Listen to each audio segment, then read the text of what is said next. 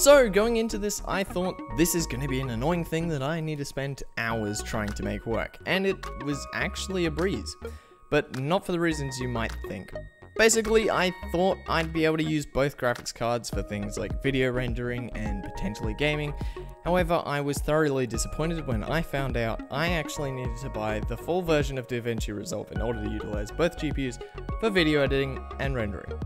Yeah, that So for gaming, is it possible to utilize both GPUs? The shorter answer is no, and the long answer is that while games like War Thunder were utilizing both cards, in order to make it work, I had to plug my main display into the 1070, and then the 1070 would be about 30% utilization, and my 980 Ti would drop from 100% down to 70% utilization.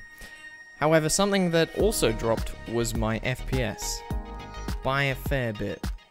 But Connor, I hear you ask, why not use different SLI all day? The answer to that is that I looked into it and it turns out you need two GPUs with the same architecture and last time I checked, Pascal and Maxwell aren't really uh, the same generation. So that was basically just a no-go for me. Anyway, after getting all of that out of the way, it begs the question, why do people even use multiple GPUs? Well, obviously, mining is one of the main use cases. I did try that, by the way, but it wasn't utilizing both cards, and I wanted to have this video over and done with, so I didn't really go further into it. And I guess compute tasks and servers and all that jazz might also need multiple GPUs.